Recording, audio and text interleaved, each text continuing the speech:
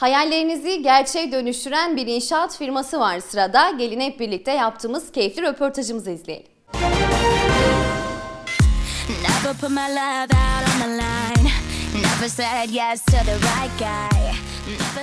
Programımıza MS İnşaat'la devam ediyoruz.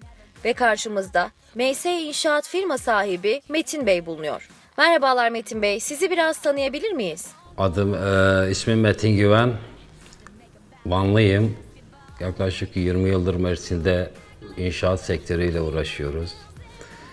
Çeşitli binalar yaptık, konutlar yaptık, iş yerleri yaptık. Hala da yapmaya devam ediyoruz. Firmanızın tarihçesinden bahseder misiniz? Yeni e, desek de 2011 yılında kurduk ve o günden bugüne de durmadan çalışmalarımız devam ediyor konut sektöründe. Devam eden projeleriniz hakkında bilgi verir misiniz? 10. etap çalışmamızda 5 bloklu inşaat yapıyoruz şu anda. 5 bloklu konut yapıyoruz. Bu konutlarda 1 artı 1, 2 artı 1, 3 artı 1, 4 artı 1 ultra lüks konsepte çalışmalarımız var şu anda.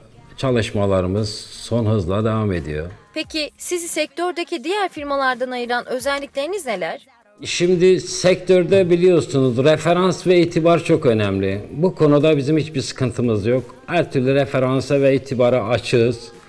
Bizi dışarıdan soruyorlar, biliyorlar, alıyorlar mesela. Bizim farkımız dürüst davranmamız, yaptığımız işi tamamlayıp teslim etmemiz, konut sahiplerini rahat ettirmek için her türlü çabayı gösteririz ve bunu da bütün sattığımız kişiler biliyorlar, görüyorlar yani. Son olarak izleyicilerimize neler söylemek istersiniz? Konut sektörü çok zor ve meşakkatli bir olay.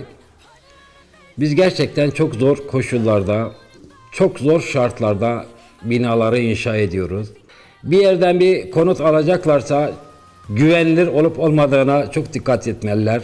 Yani izleyicilerimiz aldıkları daireyi değil de yapılan işin detayını bilerek almalılar diye düşünüyorum.